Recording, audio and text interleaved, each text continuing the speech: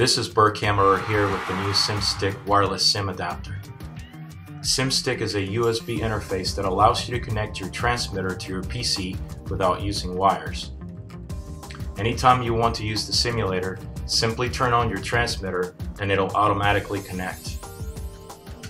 There is very little latency loss and it even allows you to fly your simulator with transmitters that usually cannot handle a trainer port, such as the Spektrum DX7 SE. Currently, the SimStick is compatible with JR and Spektrum 2.4 GHz transmitters and receivers. The SimStick was designed to work with Phoenix Simulator, but is also compatible with RealFlight Reflex Aerofly Pro Deluxe and FMS. The SimStick from Desire RC, another great product, now available at ReadyHeli.com.